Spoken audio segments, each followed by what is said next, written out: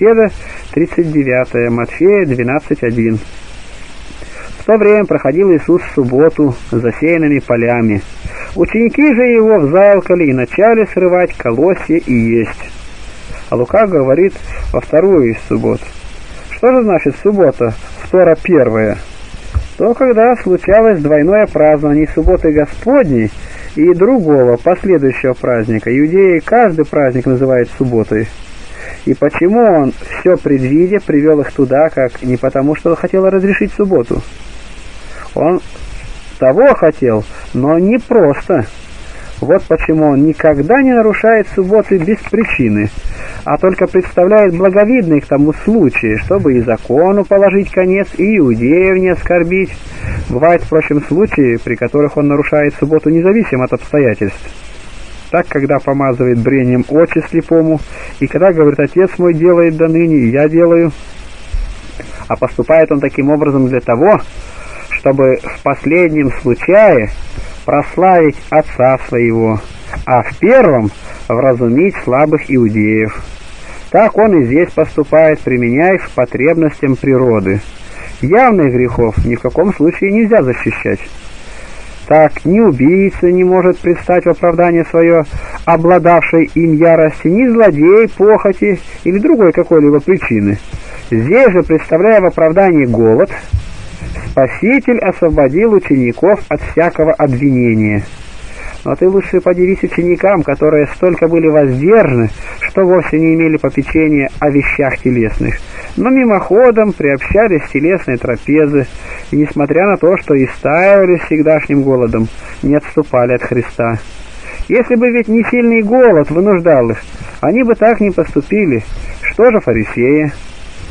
Видевшие это, сказали ему, «Вот, ученики твои делают, чего не должно делать в субботу». Здесь они не очень жестоки.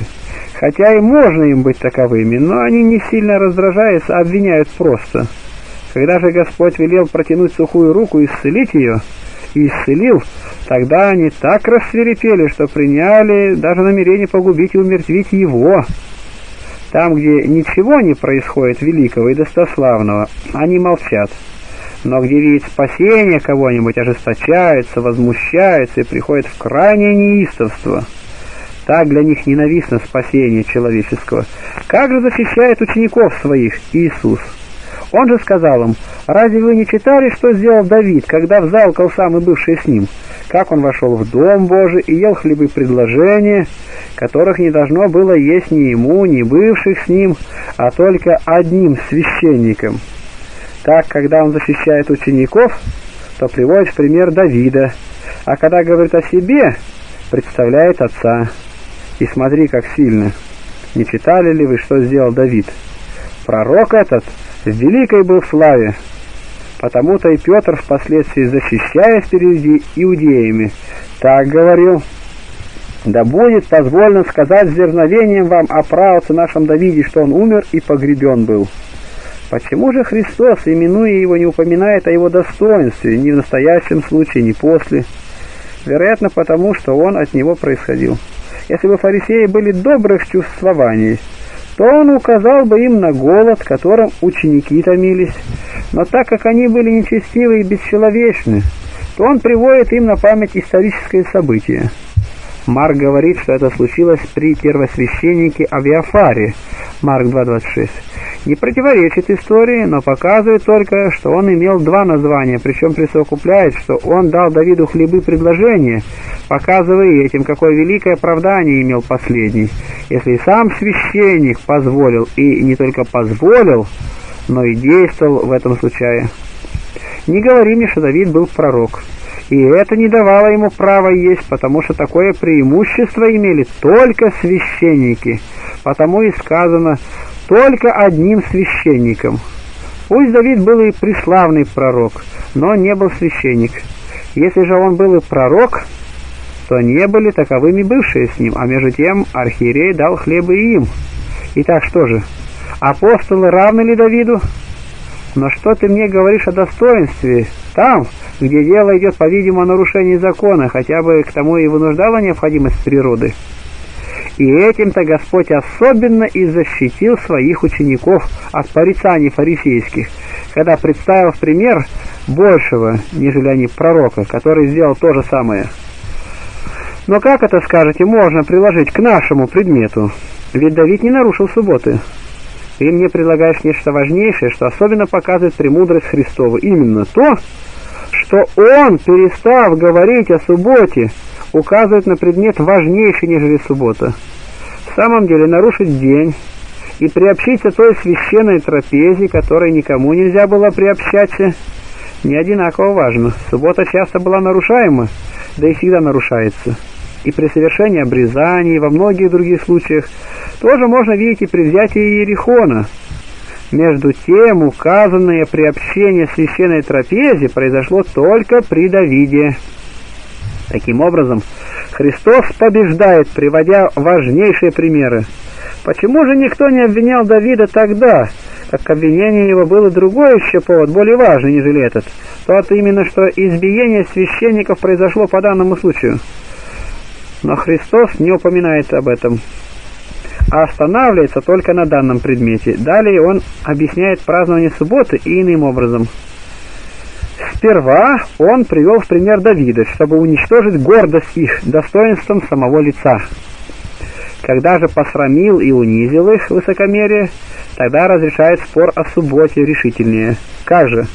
Или не знаете, что в храме священники в субботу нарушают субботу, и однако в субботу они говорят, нарушают и не повинны. Там, говорит он, известное обстоятельство послужило случаем к нарушению субботы, а здесь она нарушается независимо от обстоятельств. Не непосредственно так он разрешил вопрос, но сначала представляет нарушение субботы как нечто допустимое, а потом уже настоятельно показывает справедливость его. Сильнейшее доказательство нужно было поставить после, хотя и первое имело свою силу.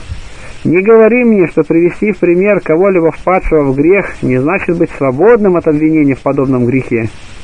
Когда учинившего какой-либо проступок не обличают, то такой поступок уже служит к оправданию по закону. Впрочем, Господь, не удовольствовавшись этим, возражает сильнее, говоря, что поступок учеников его совсем не грех. В особенности же он победил фарисеев тем, что, показывая себя упразднителем закона, оправдывал учеников двояким образом, указывая и на место, и на субботу, и даже трояким, поскольку действие заключало два обстоятельства, и сверх того иное по отношению к священникам, и, что еще важнее, не менялось им то даже в грех, и сказано, и не повинны. Видишь ли, сколько обстоятельств он привел, место, потому что это происходило, говорит он, в храме. Лицо, потому что то были священники. Время, потому что то было в субботу.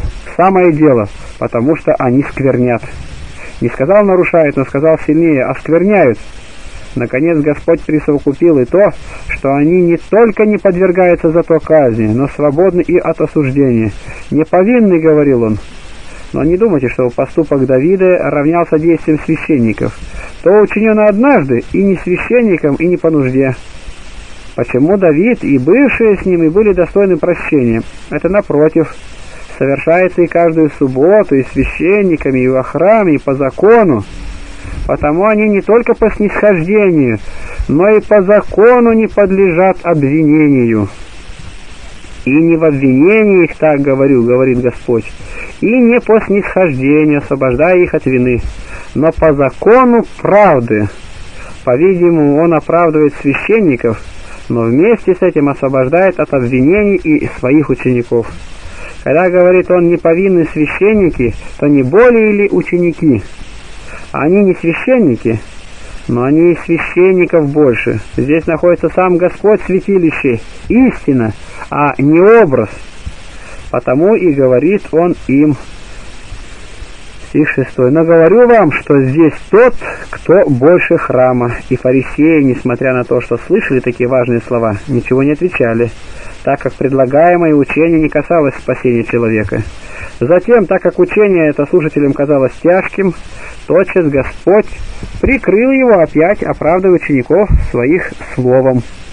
Если бы вы знали, что значит милости хочу, а не жертвы, то не осудили бы невиновных. Видишь ли, как он опять защищает учеников словом своим, а вместе с тем показывает, что для них вовсе не нужно оправдание. Не осуждали бы, говорит он, неповинных. Раньше он прилагает эти слова к священникам, говоря, что они не повинны, а теперь то же самое прилагает к ученикам своим. Впрочем, и это говорит не столько от себя, сколько заимствует от закона. Он привел пророческое слово 425. Далее указывает и другую причину. «Ибо Сын Человеческий есть Господин и субботы», говоря это о себе самом. Марк же говорит, что он сказал это, применяясь и вообще к природе человеческой. Он говорил, суббота ради человека, а не человек ради субботы. Но почему же наказан был собиравший дрова в субботу? Числа 15.33. Потому что законы, пренебреженные в самом начале, едва ли бы впоследствии времени были соблюдаемы. Многую и великую пользу вначале приносила суббота. Например, делала людей кроткими, человеколюбивыми к ближним, приводила их к познанию промысла и управления Божие, и мало-помалу, как говорит Иезекииль, научала их удаляться от зла и располагала к предметам духовным, Иезекииля 20. Если бы положивший закон о субботе сказал им, делайте доброе в субботу, а злого не делайте, они не удержались бы и от зла. Поэтому и предписан общий закон, не делайте ничего, Впрочем, они не удержались, несмотря и на это. Таким образом, сам законодатель, предписывая закон о субботе, прикровенным образом указывал на то, что они, чтобы они сообразно с его волей удалялись в этот день от худых только дел. Не делайте, сказано, ничего. Разве только для, все для того, чтобы смирять души ваши. Между тем во святилище было совершаемо все, и даже с большим тщанием и с двойным старанием. Так Господь открывал им истину и самой сенью. Исход 12.16. Итак, столь великое благо, скажешь, Христос разрушил? Никак, но еще более умножил. Настало для них время научиться всему посредством возвышеннейших предметов, и уже не было нужды связывать руки того, кто, освободившись от злобы, стремится ко всему доброму. Уже не было нужды научаться из закона, что Бог сотворил все. Уже не было нужды быть кроткими по силе закона тем, которые призываются к подражанию благости Божией. «Будьте, — говорит он, — милосерды, как милосерд Отец ваш Небесный». Уже не было надобности один день праздновать тем, которым всю жизнь повелено праздновать, и празднуем не ветхой закваски, не закваской злобы и лукавства, но в бесквасии чистоты и истины. Уже нет нужды стоять у ковчега и золотого жертвенника тем, который имеет в себе самого владыку всяческих и вступает в общение с ним всеми способами, и молитвою, и приношениями, и писаниями, и милостынею, и ношением его внутри себя. Итак, какая надобность в субботе тем, кто всегда празднует и живет на небе? Будем же праздновать непрестанно, удаляясь от всякого зла. В этом-то и состоит истинный праздник. Будем устремляться к предметам духовным, оставя земные, и праздновать празднованием духовным. Руки удерживают любостяжание, тело освобождает от излишних и бесполезных трудов. Каковыми обременяем был некогда народ еврейский в Египте. Мы, приобретая золото, ничем не различаемся от тех, которые копали глину, делали кирпичи, собирали солому и были мучимы. И ныне дьявол принуждает делать кирпичи, как некогда фараон. В самом деле, что такое золото, как не брение? И что такое серебро, как не солома? Наподобие солома воспламеняет огонь вожделения, и золото, подобно глине, оскверняет обладающего им. Вот почему Господь послал нам не Моисея из пустыни египетской, но Сына Своего с небес. Итак, если ты и по пришествии Его прибудешь в Египте, то пострадаешь так же, как египтяне. Если же оставишь Египет, выйдешь вместе с духовным Израилем, то узришь все чудеса.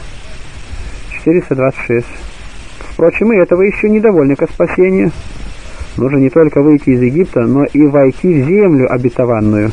И иудеи, хотя, как говорит Павел, и море черное перешли, и манну ели, и пиво духовное пили, однако все погибли. Итак, чтобы и нам тому же не подвергнуться, не станем медлить и назад обращаться.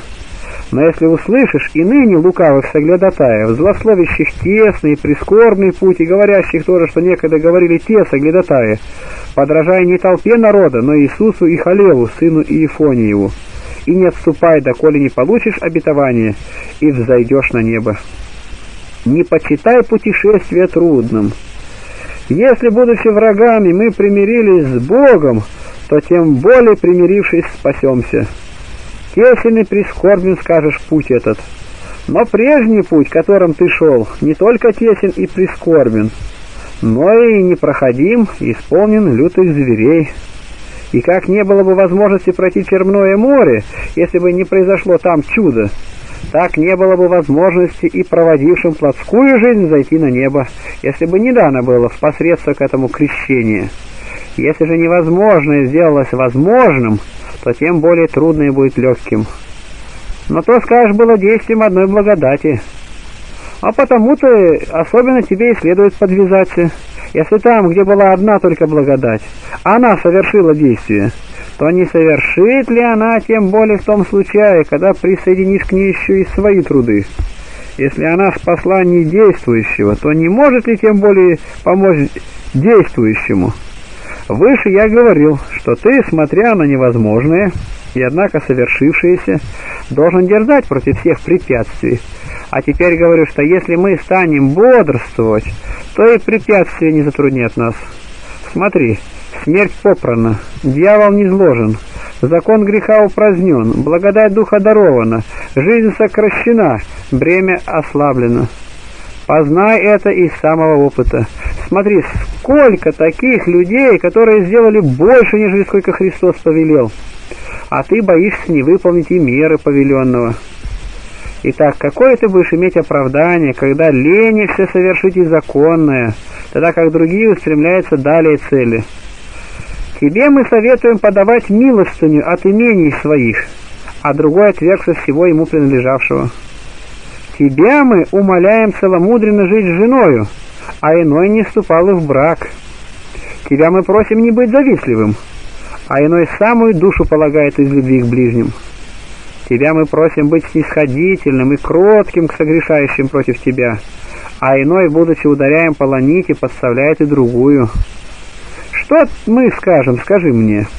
Как станем отвечать, не делая того, в чем нас другие столько превосходят?» Но они не превосходили бы, если бы дело не было весьма легким. Кто сохнет? Завидующий ли счастью других или веселящийся и радующийся о нем?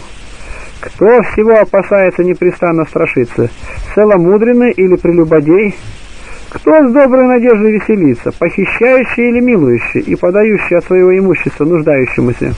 Итак, помышляя об этом, не станем ослабевать на пути добродетели но со всяким рвением приступим к достохвальным подвигам. Потрудимся здесь краткое время, чтобы получить вечные и неувидаемые венцы, которых это сподобимся все получить, благодатью и человеколюбием Господа нашего Иисуса Христа, которому слава и держава во веки веков. Аминь.